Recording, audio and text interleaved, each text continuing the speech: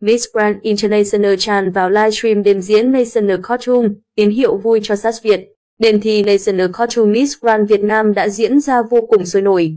Đêm thi National Costume, trang phục dân tộc Miss Grand Việt Nam 2022 đang được diễn ra tại thành phố Hồ Chí Minh. Đây là có hội để phán sắc đẹp, có cơ hội tận mắt chứng kiến những thiết kế ấn tượng của các nhà thiết kế trẻ chính thức được ra lò. Không chỉ tạo tiếng vang với khán giả trong nước, ngay khi livestream mới phát sóng, trang chủ Miss Grand International đã auto có mặt và bấm like, thả tim không ngớt. Hành động này được phán Việt chụp lại và chứng tỏ sức hút của phần thi phụ đã vươn tầm biển lớn.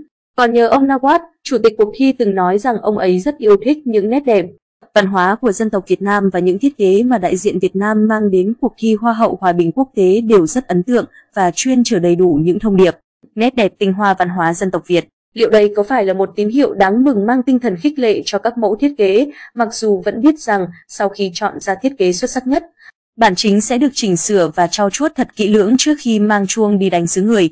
Các cô gái được chia đội và lần lượt trình diễn trên nền nhạc vô cùng ấn tượng. Họ xài đi vô cùng tự tin sau chuỗi ngày rèn rũa tại lâu đài sắc đẹp. Họ đã sẵn sàng nhập cuộc ở những chặng đua phía trước, đúng tinh thần Miss Grand Việt Nam 2022.